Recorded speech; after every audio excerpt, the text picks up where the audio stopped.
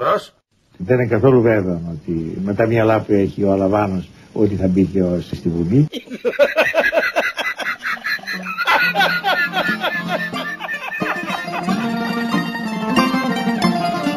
Εκατόν πέντε και πέντε